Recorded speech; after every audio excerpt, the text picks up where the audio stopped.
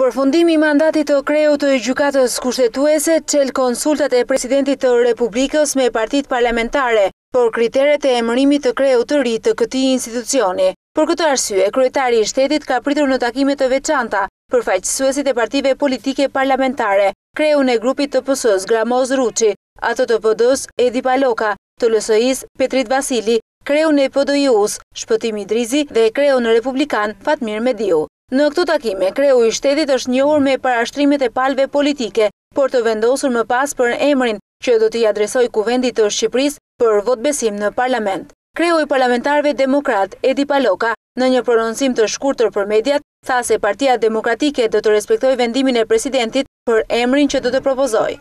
Ne do të respektojmë vendimin e presidentit.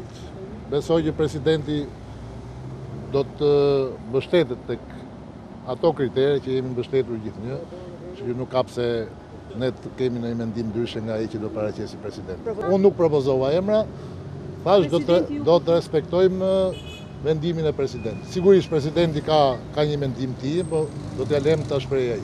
Votimi i kreut të Gjykatës Kushtetuese kërkon shumicë të thjeshtë në Parlament, ndërsa Bashkim Dedja u votua në krye të këtij institucioni në verën e vitit dy mijë e dhjetë me shtatëdhjetë e katër vota. Koalicioni qeverisës i asaj kohe votoi hapur pro dekretit të presidentit Bamir Topi. Sipas Kushtetutës, Gjykata Kushtetuese përbëhet nga nëntë anëtarë, të emëruar me një mandat nëntë vjeçar, pa të drejtë riemërimi.